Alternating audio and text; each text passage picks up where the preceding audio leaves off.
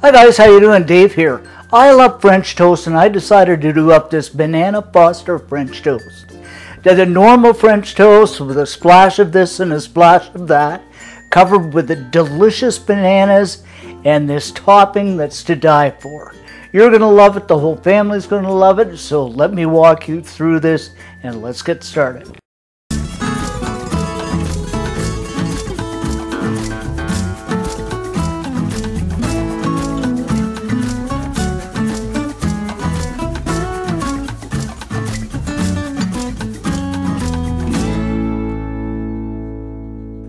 Okay guys, to kick things off here, I'm going to make the batter for the French toast.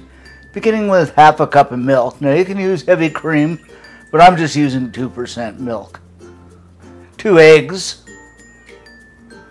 A few drops of vanilla extract. Now I just kind of eyeball this, but I'd say this is probably like a quarter of a teaspoon, something like that. A pinch of cinnamon, a spice I really love and a pinch of allspice. Now this is totally optional. You can use nutmeg or you can simply leave it out. But it smells so good. Last and not least, a pinch of salt just to bring out those flavors. Now I'm going to take my handy dandy whisk and mix this up until everything is nicely combined.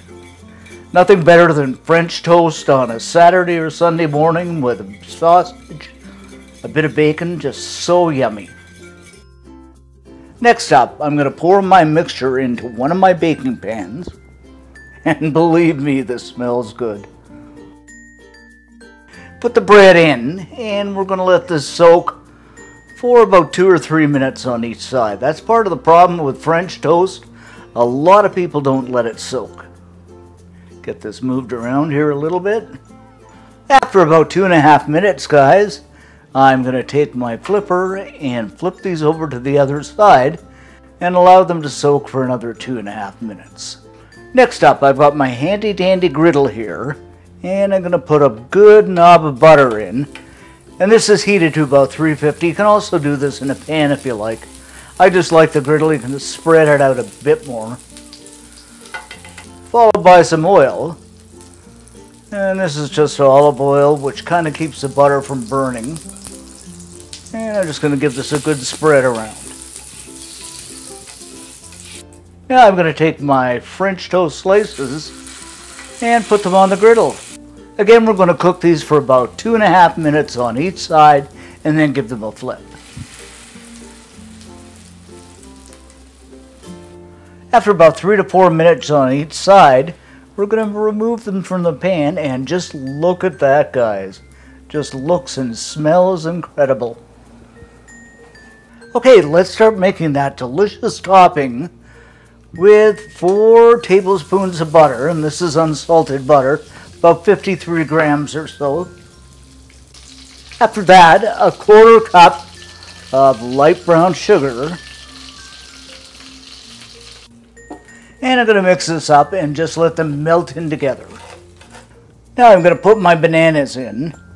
And these are a fairly firm ripe banana. You don't want them too soft or they're just going to smush together. And we're just going to let it cook for a minute or so on one side and then flip it to the other side. And you want this over medium-low heat, otherwise it's going to burn, and that's something you don't want. Once the banana is heated through and is covered with the caramel, you're good to go. And we're going to go ahead and spoon that delicious goodness over the French toast. Then we're to drizzle some of that delicious topping over the top. Believe me, this looks and smells so good. Now this Banana Foster French toast is very unique. And you know, sometimes people will even put some booze in there. But I'm not to do that. That's going to a little bit extreme. But if you want to do that, shh, I won't tell. Okay, let's dig into this and see what we've got.